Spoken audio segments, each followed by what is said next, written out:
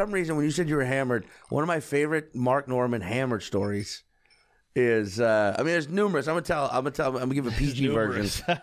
but we were at we were at Whiplash, Oh yeah. which Old UCB show. old UCB show Monday nights, 11 p.m. was fucking fantastic. Mm-hmm. And you leave Whiplash, and the play was go up the block to the Molly Wee. Yes. And there was one night where like the whole group of comics would all come up, and e- the, the vibe was the show was kind of weird that night, and everybody's sort of like, I don't know, but we'd all been drinking because there was booze at this. club.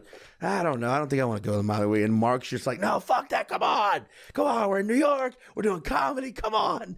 We're going to we're going to Molly Wee. Come on. He does his Mark thing. He's like, ah, come on. What are you gonna go? Go home. What are you What are you gonna go? Go home. What are you gonna take the train for it? No, come on, come on. We're all going. And then like this whole group of us, there's like eight of us, like, yeah, yeah, yeah. the Yeah, fuck reality that. is, I live We're eight- going. 18 hours into Brooklyn, and I Yeah. just want to go home. Well, no, that was the funny part. We're all like, yeah, we're going to the Molly. We're all like fucking charged, like a fucking. And we're walking to the Molly Way, and I look back and I see Mark running towards the A, the opposite direction.